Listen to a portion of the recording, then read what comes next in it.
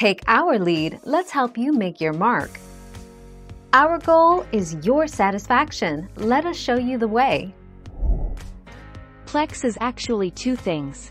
It's free media server software that you run on a PC, Mac, or NAS drive in your home.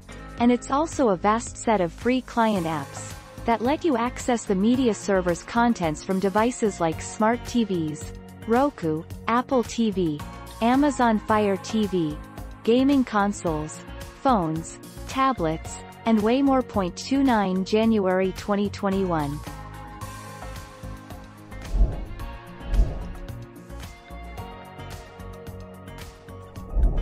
Let's help you make your mark. It provides all-round security to ensure that your media library, Plex account, server details, and Plex connected devices for streaming are all kept safe from data leaks, privacy infringement, and hacking attempts. 14 January 2021.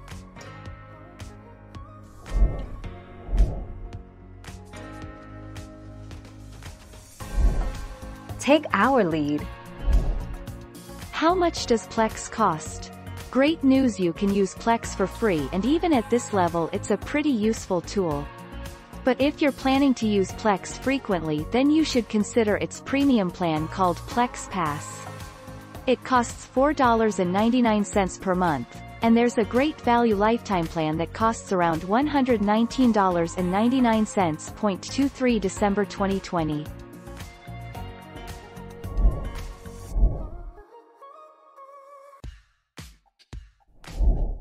Take our lead.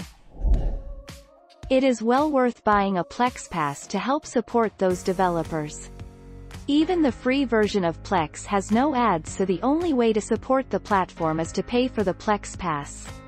So the short answer is yes, the Plex Pass is very definitely worth the expense. 20 April 2018.